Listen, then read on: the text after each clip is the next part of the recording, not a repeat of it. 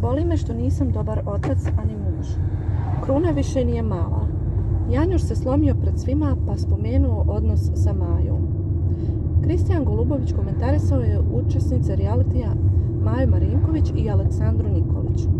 Marko Janjuš se nadovezao na priču pa je otkrio da se osjeća kao loš otac. One nemaju dostojanstva, ničega. Mi naravno dajemo zeleno svjetlo ili ne. Ali kada one krenu u lov, one su te koje je potenciraju sve. Maja je znala za njegov brak i dijete. Ona je željela da pokvari sve to. Sada ispravljaju krive drine. Kažu da nisu jedno za drugo, a tamo je propalo nešto što je trajalo godinama. Komentarisao je Kristijan. Ja smatram da niko nikom ne može da pokvari brak ili vezu. Ako su ti odnosi čvrsti. Generalno muškarci vole da švrljaju, a onda su im kriva ta treća lica, dodala je Maja.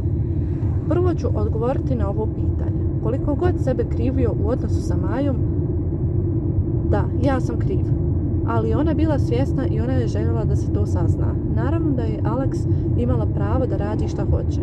Realno, veća je težina majnog miješanja. Da, mislim da nisam dobar otac, muž, sve me to boli. Ne poštujem svoju suprugu, na mom krevetu pišu neke stvari. A onda ovo sve dozvoljavam sebi. To sve ja radim, svašta pričam. A onda ni to ne poštujem. Nisam ni, nisam ni karakteran. Kruna nije mala, da ne zna i ne kapira neke stvari. Sve me to boli, priznao je Janjuš kroz suze. Ja ću te maltretirati svaki dan, pa ćete vidjeti cirkus, nastavljala je Maja.